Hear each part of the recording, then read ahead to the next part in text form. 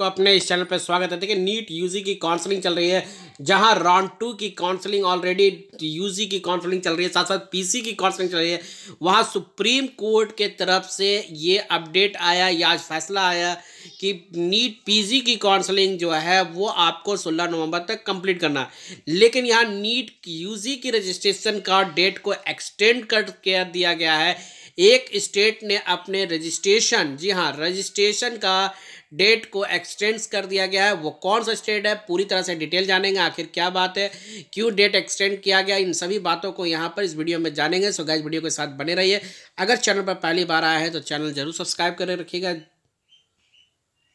देखिए, Tamil Nadu extends date the registration for admit candidate M B B S B D S round one जी हाँ M B B S के और B D S के round one के लिए तमिलनाडु ने अपनी डेट शीट को आगे बढ़ा दिया डेट को रजिस्ट्रेशन डेट को एक्सटेंड कर दिया गया है। और पूरी तरह से इसकी ऑफिशियल वेबसाइट से मैं आपको नोटिस के माध्यम से भी दिखाऊँगा।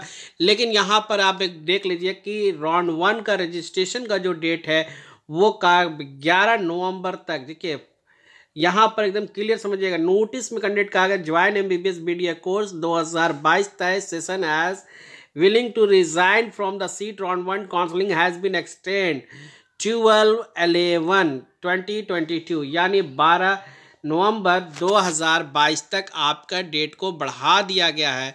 इस नोटिस में साफ़ साफ़ ये कहा गया है। यहाँ पर आप देख लीजिए urgent attention to the candidates and the college ठीक है, ये नोटिस को 31 अक्टूबर 2022 के रेफरेंस में नोटिस है और इस नोटिस में साफ़ साफ़ ये कहा गया है कि reference above notice cited in the inform that the candidate who have join M B B S B